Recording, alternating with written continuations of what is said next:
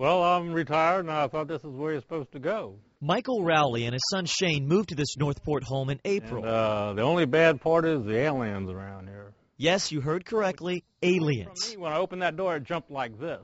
He woke me out of my sleep, and I looked right away, and I saw him. Wings, I haven't seen the wings, but we know he flies.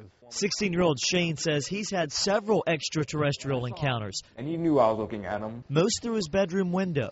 Kind of show up when they want, and you get used to them. Kind of creepy, though, walking around the woods with those big eyes and stuff. The Rowleys think they captured one of the eyes on video. Their Twilight story has the attention of MUFON, Mutual UFO Network.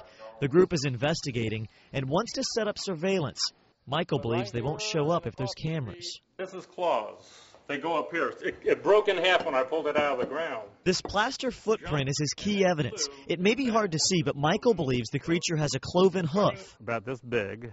Pure deep red. It just looked at me for a second. Scary for most uh, people, including this 58 year old.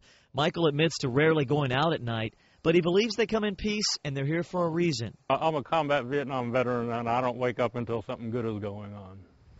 This is something good. This is something big and good going on, yeah. The family expects another alien encounter during the next full moon. And the neighbor, I gave him a picture of the footprint, and he just, okay, you know, just like no one believes anything.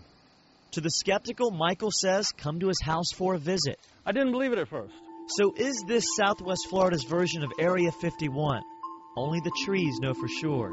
Reporting in North Port, Chad Oliver, NBC2.